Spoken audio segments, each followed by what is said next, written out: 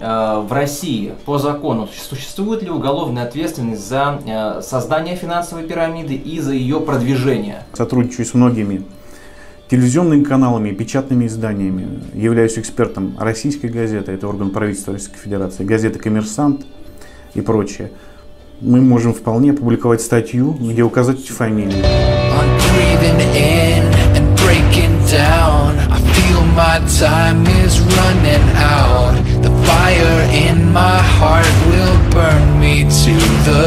Всех приветствую, дорогие друзья, меня зовут э, Марк Марцинковский. Сегодня мы находимся в офисе удивительного человека Дмитрия Зацаринского. Это один из самых известных адвокатов Москвы, очень успешный человек, э, о котором вы можете ознакомиться более подробно на его сайте. И сегодня речь у нас пойдет про финансовые пирамиды, э, про то, как э, Дмитрий в своей практике сталкивался с ними. И обсудим очень важные вопросы, потому что мы, дорогие друзья, прекрасно с вами знаем, что сегодня на рынке 98% э, тех так называемых инвестиций, в кавычках, это никакие не инвестиции, а финансовые пирамиды. И для меня огромная честь таким специалистом, как э, Дмитрий, сегодня пообщаться и расставить все точки над «и». Дмитрий, еще раз приветствую. Приветствую, да, Марк. Для меня огромная честь с вами пообщаться, пообщаться. С тобой, да, мы на «ты» перешли да, сразу, Марк, Дмитрий конечно. попросил.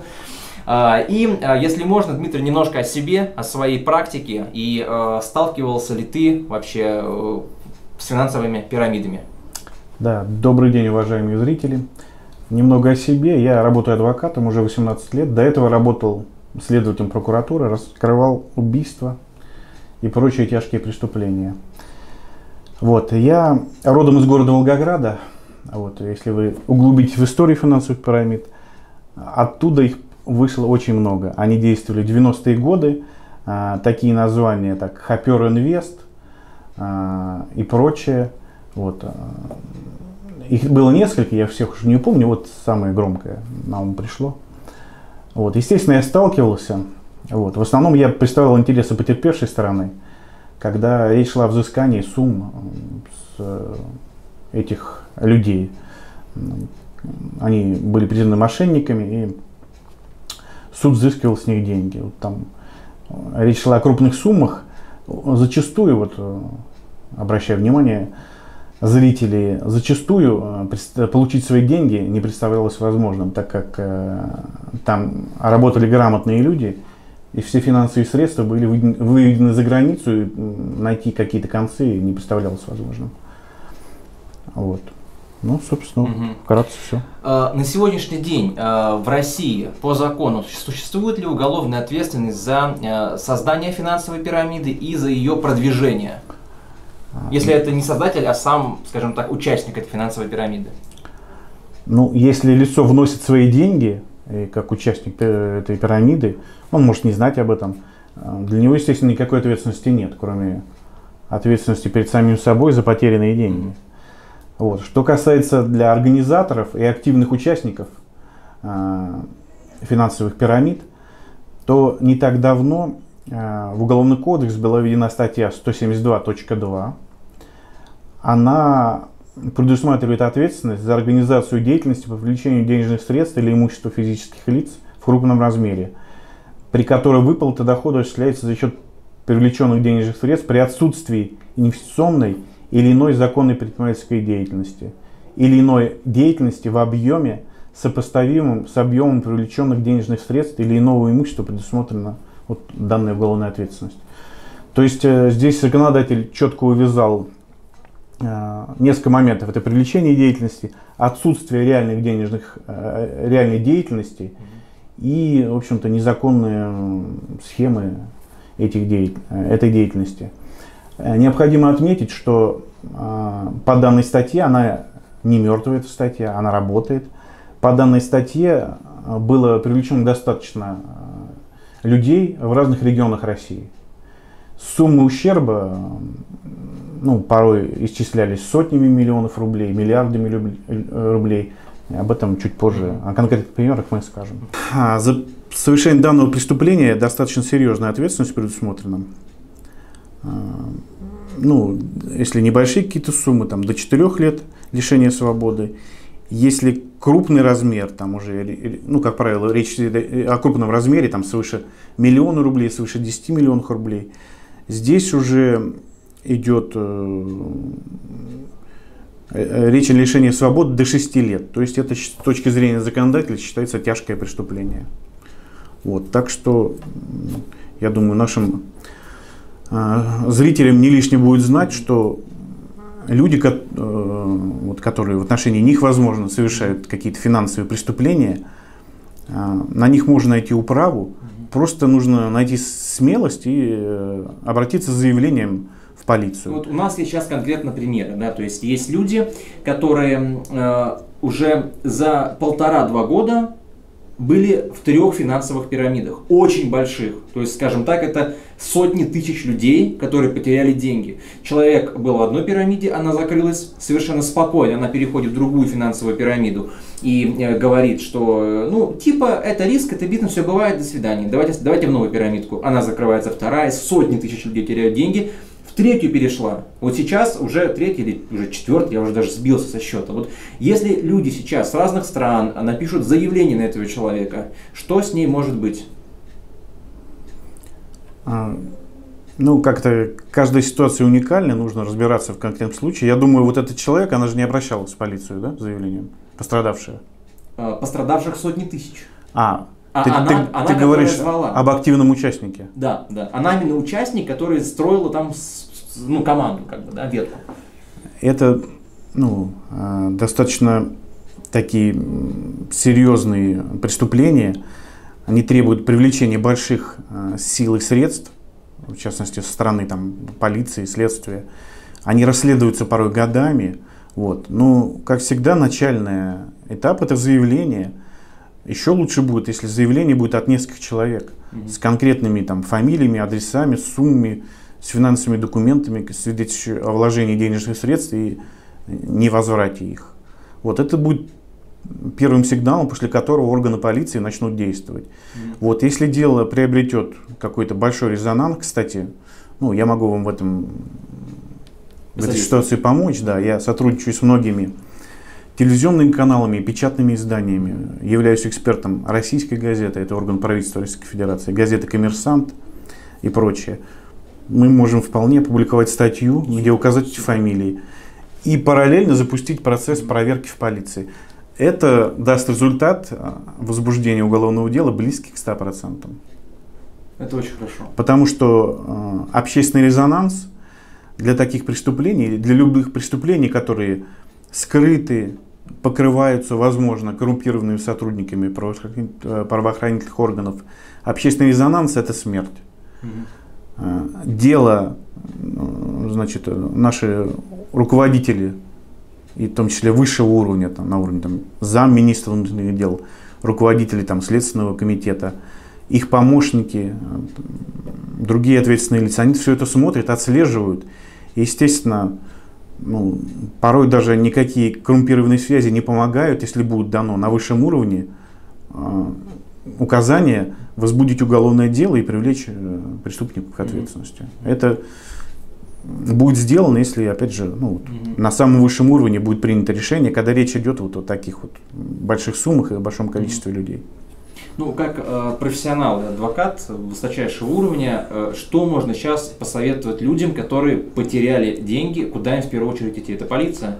Я думаю, нужно им объединиться хотя бы, ну, может быть, 5-10 человек, mm-hmm. э, как-то обменяться контактами, возможно, обратиться к адвокату, который составит грамотное заявление, пойдет с ними в полицию, со всеми сразу – а, они подадут заявление, получат обязательно талоны уведомления, надо получить о том, что их заявление зарегистрировано, дадут объяснение, дело будет под, передано сотруднику полиции. Очень не хотелось бы, чтобы э, этот материал передан был участковому, назовем его Иван Иванович, угу. у которого кабинете вот такие папки дел, угу. зарплата 30 тысяч рублей угу. и стертые ботинки. Угу. Вот. Хотелось бы, чтобы данное дело взято было на контроль ну, оперативными сотрудниками, которые проводят проверку, устанавливают первоначальные какие-то моменты, ну, действительно, там есть эта организация, существует по поводу этих платежей и прочего, и уже принимается процессуальное решение, либо отказе возбуждения уголовного дела, либо возбуждении mm-hmm. уголовного дела, когда есть для этого основания. Статью я уже назвал, это статья 172.2, ну, незаконные финансовые операции. А если э, практика конкретных э, людей, которых посадили, то есть именно даже скорее не организаторов, потому что их, как обычно, бывает сложно отследить, а именно тех, кто зовет в эти финансовые пирамиды, будучи участниками, получающих бонусы за построение структуры? Да, я подготовился к интервью, посмотрел. Доступные источники, вот недавно характерный пример, город Чебоксары, ООО «Старт Инвест». 942 гражданина пострадало, ущерб 172 миллиона рублей. А, значит, э, один виновный организатор 8 лет получил общий режим, второй его подельник 6 лет. А, значит, она, организация это действовала с 2011 года, я думаю, жители Чебоксар, наверное, все слышали про это. У них даже было филиалов достаточно много. Москва, Санкт-Петербург, Казань, Ульяновск. Вот, с 11 по 15 год действовали. Что-то какая-то сумма маленькая, 172 миллиона. Ну, следствие Народу виднее. немного тоже, то есть 900 900 человек это ерунда. Ну да, для такого масштаба. Угу. Ну, скорее всего, наверное, не все удалось установить. Угу. Вот, ну, что удивительно, да, вот 4 года действовала эта организация. Наверняка были какие-то граждане, которые раньше обращались. Ну, Крах компании наступил в сентябре 2015 года, когда закрылся головной офис в Чебоксарах. Ну, я думаю, э, наверное, до этого шли дела ни шатка, ни вал, какие-то деньги выплачивались. Но когда уж совсем все стало плохо, там деньги вывели, ну, тогда это все произошло. Вот, возможно, людей, которые посадили, ну, они не являются истинными организаторами данной финансовой пирамиды. Угу. Сложно сказать.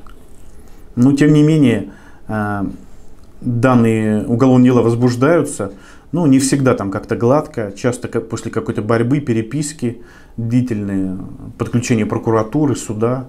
Ну, я считаю, это возможно. Вот, и людям просто нужно проявить настойчивость. И тогда они получат, ну, есть шанс свои деньги получить. И самое главное – получить какое-то моральное удовлетворение, не чувствовать себя ну, обманутым человеком какой-то на, внизу какой-то социальной лестницы, отстоять свои права. Это тоже ну, большое дело, я считаю.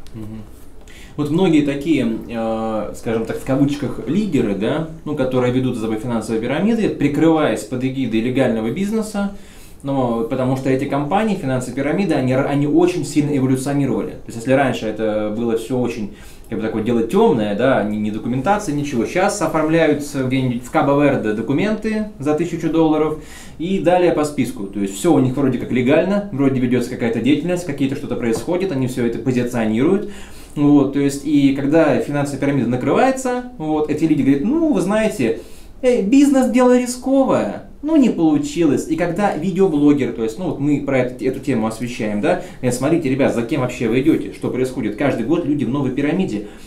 Они начинают говорить, а вы знаете, вы задеваете наши, нашу честь и достоинство. То есть вы еще нас оскорбили. То есть люди, которые вели за собой там сотни тысяч людей, которые потеряли дома. Вот я недавно комментарий читал, один человек из Казахстана, а, пишет прямо на ютубе под э, роликом нашего коллеги. Он говорит, мы потеряли дом в этой пирамиде. Дом. Они заложили дом и потеряли его. И вот эти люди, которые, благодаря которым они были замотивированы, шли и инвестировали в кавычках, да, потому что ну, инвестировать в пирамиду невозможно, это просто обман. Э, они в итоге пытаются еще говорить нам и людям, которые их как бы ну просто ну, говорят, что вы делаете, да? Говорит, а мы на вас суд подадим еще. То, что вы называете нас вот такими некрасивыми словами, там, лоховоды, пирамидосы и прочее. Вот, вот согласно закону, они могут на нас подать что-то, например, если мы э, их вот так вот публично освещаем. Не, Марк, ты несколько вопросов задал здесь. Значит, по поводу деятельности, да? Там, э, естественно, э, в данной сфере крутятся миллиарды, приглашаются там лучшие юристы, специалисты, которые разрабатывают все новые и новые схемы. Но я точно убежден, при определенной проверке, даже не очень глубокой, а, потому что серьезную финансовую деятельность, вот здесь э, речь шла о там, сотнях миллионов рублей вот в Чебоксарах. Ее скрыть невозможно. Э, как бы они же деньги на бумаге не берутся, это вот в пирамидах они берутся на бумаге, рисуются там нули. Здесь нужно же проверить документы, посмотреть это производство или какие-то там мощности, откуда деньги-то берутся. И вот закон не зря говорит, что не ведется деятельность э, финансовая в тех масштабах, которые вот обуславливают привлечение этих инвестиций. Все это проверяется легко. Вот. К сожалению, зачастую данная деятельность покрывается коррумпированными сотрудниками правоохранительных органов. Вот, и принимаются непроцессуальные решения. Но при определенном общественном резонансе, я думаю, это все дело можно продавить и через прокуратуру, там, может быть, администрацию президента зачастую реагирует положительно на это. Все это можно... То есть, проще говоря, эти люди могут подкупать э, полицию? Ну, я мне такие факты, там, я привык конкретно говорить о чем-то, возможно, Возможно. такие факты. Угу. Такие факты э, были неоднократно. Вот, к сожалению, вот в стране у нас такое происходит, как и везде по миру. Ну, такое может быть. Иначе я просто часто видел отписки разные, что там, где сотрудники полиции даже не исполняли свои прямые обязанности, допустим, по опросу там какого-то гражданина. Я недавно читал. В беседе с таким-то, таким-то вот установлено следующее. Пардон, ты не беседуй с ним, как бабушка на лавочке. Берется объяснение, и по конкретным фактам, там, допустим, если указывается какая-то производственная деятельность, надо проверить, существует ли она. На самом деле они только бумажки там существуют. Вот. У финансовых пирамид, естественно, никакой деятельности в масштабах сотни миллионов рублей не ведется. И вот. А по поводу второй части, привлечения к ответственности тебя. Ну, я вот человек, э, знающий законы, и тебя, Марк, тоже предостерегаю от необоснованного причисления там, каких-то людей к, к рангу мошенников и прочего. Эм, есть простой способ, да, вот обратиться в полицию, и, кстати, ты можешь это сделать. Возможно, мы с тобой обсудим mm. про этих людей. Мы с тобой уже начали это, эту тему. Мы после съемок поговорим. И, возможно, в отношении каких-то лиц э, появятся такие заявления, будут направлены куда следует. Вот тогда эти люди немножко подпритихнут. Вот. А я человек, привыкший действовать эффективно, вот, кого-то что-то там обвинять, как-то не очень это. Есть законная процедура, к ней нужно прибегнуть и все. И пускай наши органы правоохранительные ну, поработают и установят, есть ли там состав преступления, либо нет. А когда, когда появляются конкретные потерпевшие, ну, суммы, которые они внесли и не смогли получить обратно, ну, здесь уже другая история. Здесь угу. надо принимать меры и и вытекает сразу вопрос, вообще, как отличить финансовую пирамиду от э, нормальных легальных инвестиций? Да. Э, отличия такие есть, сейчас я о них скажу. Ну, прежде всего, хотелось бы нашим слушателям сказать, что существуют честные инвестиции. Э, и они есть. Нужно просто внимательно послушать, не делать скоропалительных выводов, не инвестировать последние деньги. Но тем не менее, вот мы даже хэштег вынесли за честные инвестиции. Они, они существуют. Но имейте в виду, уважаемые слушатели, что и зрители, что, к сожалению, а, на рынке инвестиций подавляющее большинство, а, ну, речь идет там о, может быть, тебе лучше, может, известно, о 80-90% это мошенники. Вот. И очень жалко и обидно за тех людей, которые попадаются в их лапы. Вот. Для этого мы, в общем-то, в том числе и снимаем э, данный ролик, чтобы этого не происходило. Из своей практики вот сейчас несколько признаков э, назову, э, которые даже простому гражданину позволят ну, какие-то выводы сделать. Во-первых, нужно посмотреть лицензию э, на ту деятельность, которая заявляется. Это инвестиционная деятельность, либо какая-то финансовая деятельность. Во-вторых, э, значит, гарантированный доход. Э, значит, финансовая компания, кроме банка, по законодательству не имеет гарантировать размер дохода. Если финансовая компания гарантирует определенный процент, а еще если он ну, будет достаточно большой, если мы говорим там, о ставке рефинансирования, по-моему, 7% годовых. Если вам предлагают процентные ставки там 20%, там бывает и в месяц, я как-то читал. Один процент в день сейчас. Один, ну, ну что это, вот это одного факта, угу. если говорят, мы вам платим 1% в день, ну это понятно, я вот сразу говорю, что уже дальше можно не слушать, потому что это понятно, что финансовая пирамида. Если все-таки вам интересно послушать, вы можете спросить, а вот чем гарантируется такая высокая, высочайшая доходность? Потому что если бы была она реальная, все деньги мира были бы у этих людей, работали бы, инвесторы получали деньги. Но, к сожалению, это не происходит, потому что это обман. Вот. Посмотреть, чем эта фирма зарабатывает.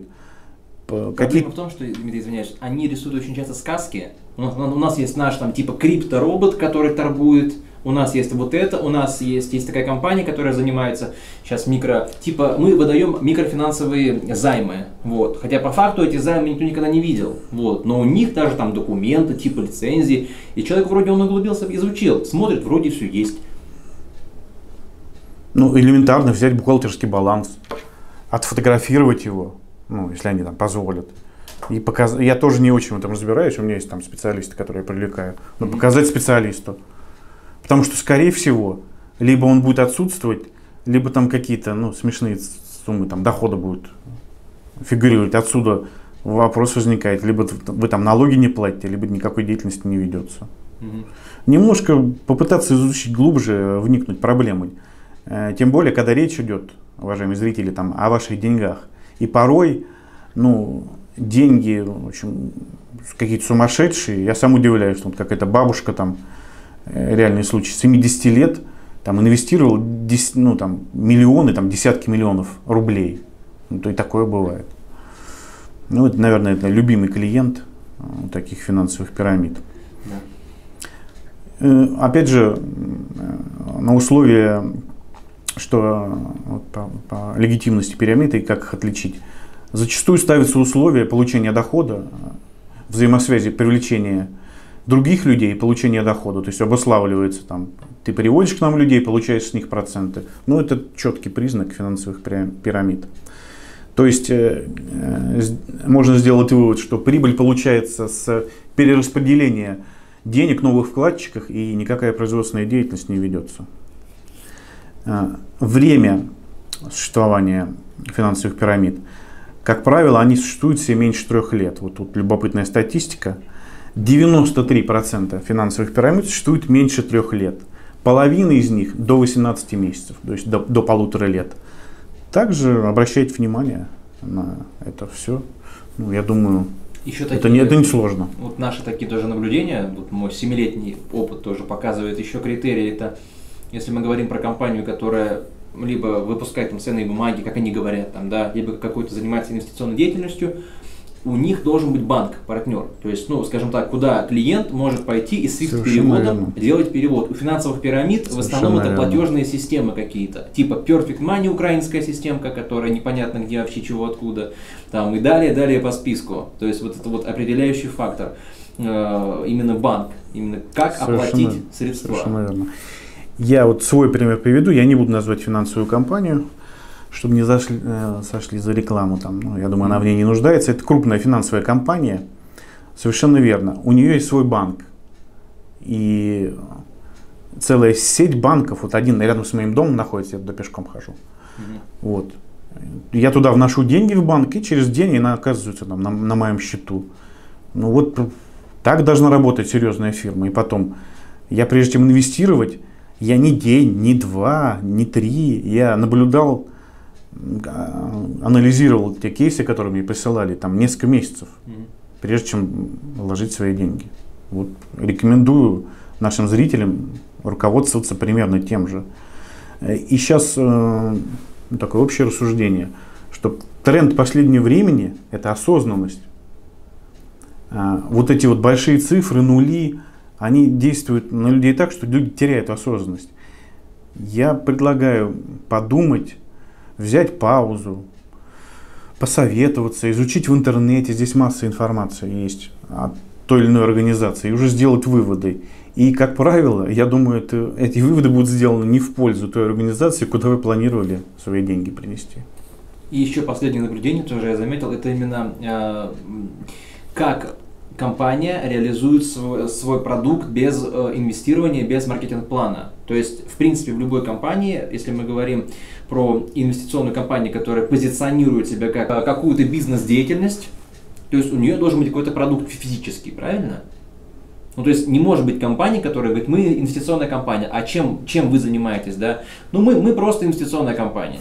Вот, вот сейчас это очень модно, да, то есть есть типа фонд такой-то там, да, вот, либо инвестиционная компания, в которой, э, то есть и всегда я, я спрашиваю, что я могу купить, либо что, какую услугу я могу получить без участия э, там маркетинг-плана, э, это тоже является критерием.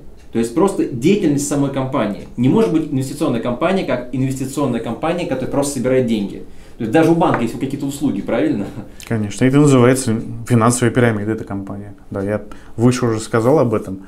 Немножко углубиться и посмотреть документы. Но, скорее всего, эти документы вам просто никто не покажет. Угу. Дмитрий, еще вопрос такой.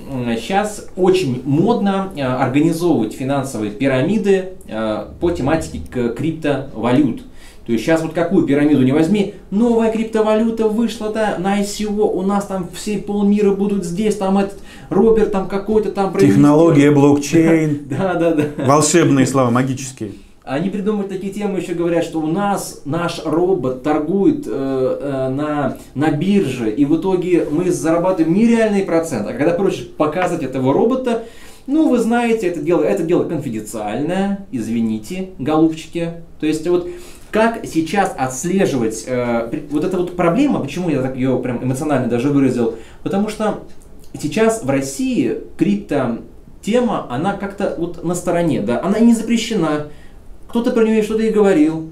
То есть, ну, отследить ее, то есть, ну, невозможно, по, по сути, правильно? Оплачивать можно через там биткоин кошельки, никто тебе ничего не скажет, все это конфиденциально.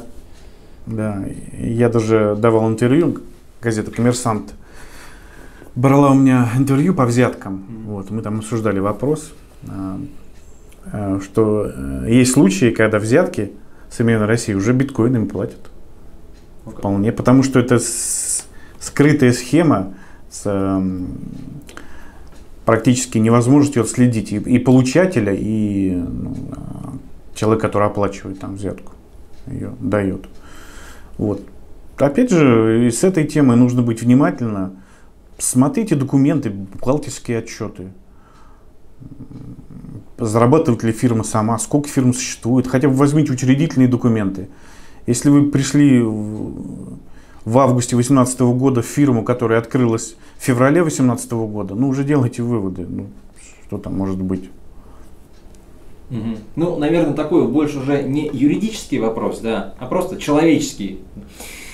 Почему, Дим, такие люди, э, ну их, их так много, да, почему вот огромное количество людей, зная, что есть инвестиции легальные, что есть хороший честный бизнес, что можно заниматься в интернете, также инвестировать, э, строить те же команды, то есть все это легально можно делать. Да, то есть на абсолютно легальной, надежной основе. Почему так много людей все равно идут и наступают на те же грабли каждый год одно и то же, одно и то же? Почему так происходит?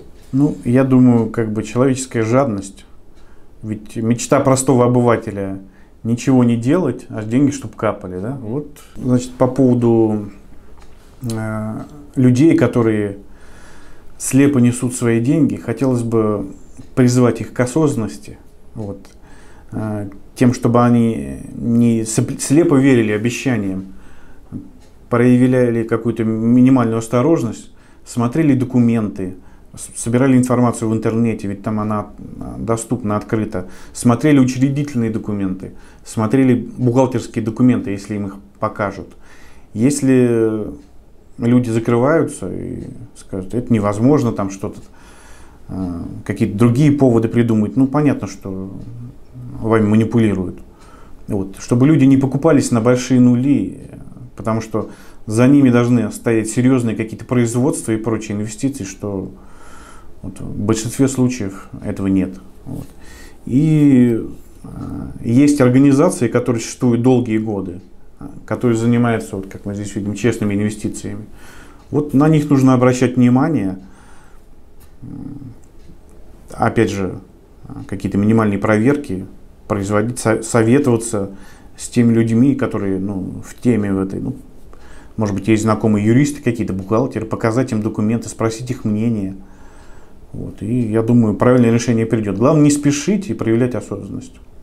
Э, друзья мои, огромное спасибо, что посмотрели этот ролик. И главное, действительно, огромная благодарность Дмитрию Зацаринскому за то, что он нам сегодня буквально по полочкам разложил все юридические моменты. И самое главное, друзья, если вы попали в финансовую пирамиду, если у вас есть какие-то вопросы, которые вы еще не разобрались, не бойтесь обращаться сразу а, в полицию и непосредственно к самому Дмитрию. Все контакты вы видите у нас написаны, а, сайт – пожалуйста, обращайтесь, это специалисты высочайшего уровня, который вам полностью поможет во всем.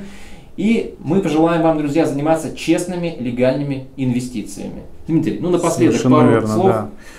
Друзья, э, значит, обращайтесь, звоните, меня можно найти э, в интернете, там, адвокат Зацаринский набираете, и мои соцсети есть с конкретными примерами моей работы. Вот. Очень хотелось бы, чтобы там скоро появился пример э, постановления о возбуждении уголовного дела в отношении таких недобросовестных предпринимателей, которые обманывают людей.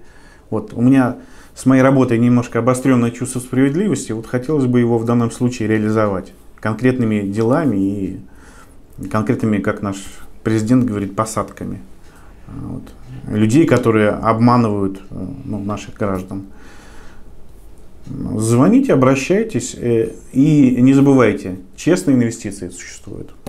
Всем спасибо. Пока.